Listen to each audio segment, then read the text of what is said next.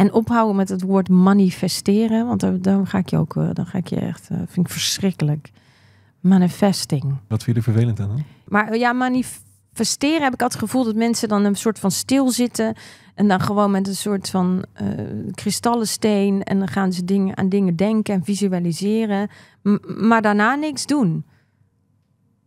Ga aan het werk. Ga het proberen. En aan het werk bedoel ik niet ga werken en verdien geld. Nee, ga, aan de slag. Ga ermee aan de slag. Doe iets om je droom ehm, eh, waarheid te laten worden. Maar ga niet naar cursussen en dingen. En al. Ja. Een goede mindset is heel belangrijk hoor, maar niet te passief alsjeblieft. Nee.